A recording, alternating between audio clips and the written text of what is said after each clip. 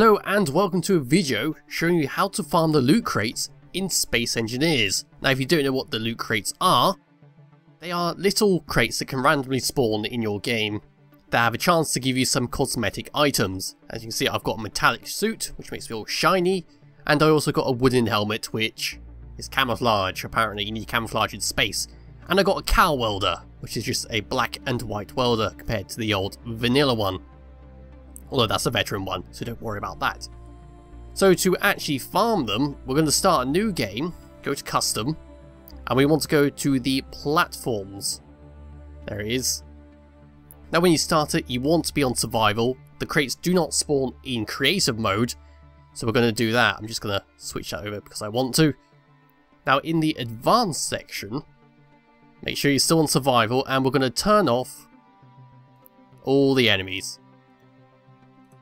Uh, I think I've got more. Yeah, so I've turned off all the enemies, so there's not going to be any problems whatsoever. If you want to use mods, I strongly suggest using anything that improves the speed of your ship. Whatever, I can't remember the name of it. But anyway, I'm going to load this up and show you how to do it.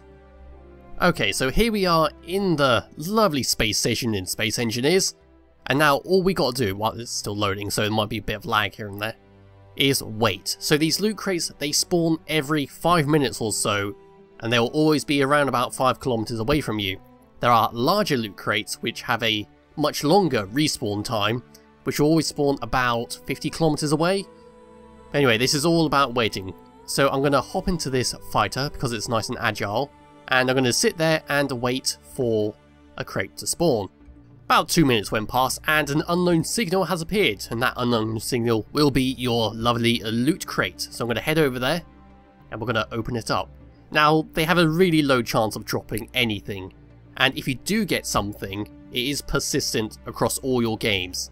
In fact the actual items you get are tied to your Steam account so you can sell them on the marketplace and trade them to other people if you wanted to. We're at the lovely drop pod over here and you'll find this little button if you click on it, it'll say try your luck, you press OK, and I didn't get anything. About usual.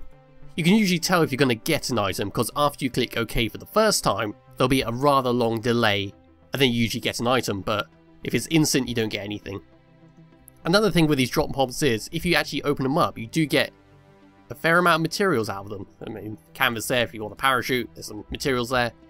But anyway, if you want to then just sit around here. You can go back to the station if you want, or you can sit here, and in about 5 minutes or so, another drop pod will spawn. Then you just go over and repeat the process again. So that is it for this video. I hope you enjoyed it, and I hope it was helpful, and I'll see you in another video soon. Bye bye.